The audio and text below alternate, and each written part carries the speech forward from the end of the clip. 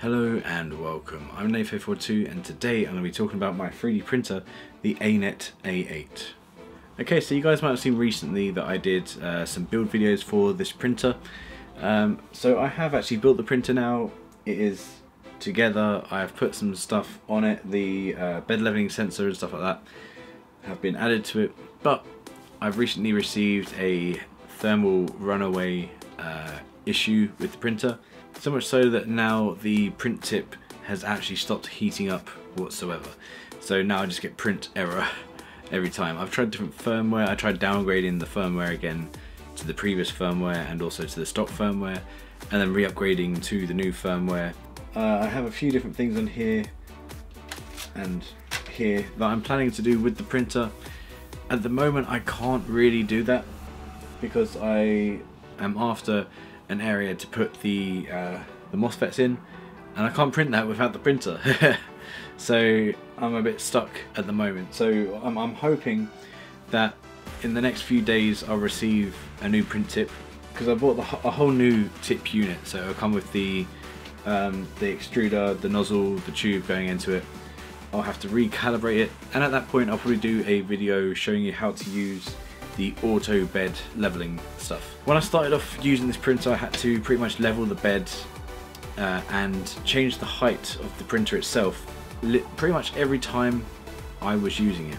That is of course unless I did one print and then another print after and then another print after.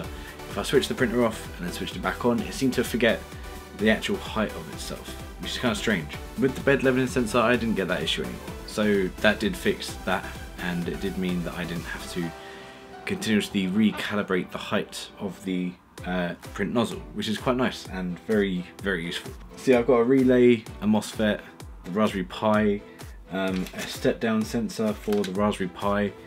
Um, hopefully what I'll be able to do is put that all into this little enclosure here, eventually, and the MOSFET into an, another enclosure at the top.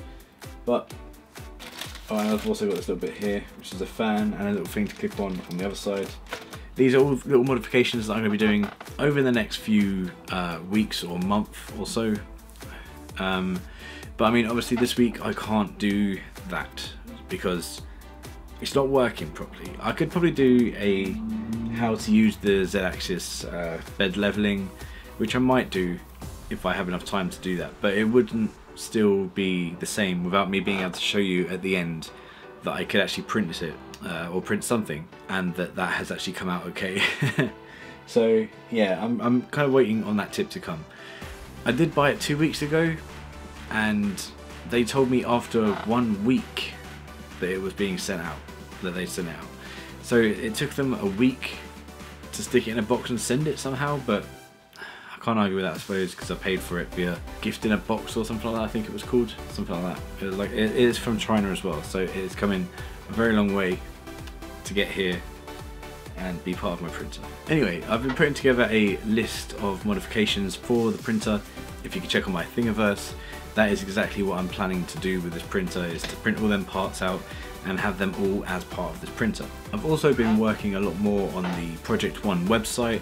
Um, so if you go to Project ONE this time, uh, sorry, nath042.com forward slash Project ONE, Project One, uh, that will actually show you the new and improved WordPress website which will house all of my information and stuff regarding Project One. Uh, I urge you to go and have a look, it's pretty cool. If you think it's pretty cool, share it around, let people know, and maybe we can get some other people on board as well to do some art or any other kind of uh, cool stuff that can help with this project, which would be really good. Um, I'm really excited to be bringing it out. So yeah, that'd be good. I think that's about it for this time, so don't forget to comment and subscribe. Let me know you think. Follow me on Twitter, that is at Nath042, and thanks for watching.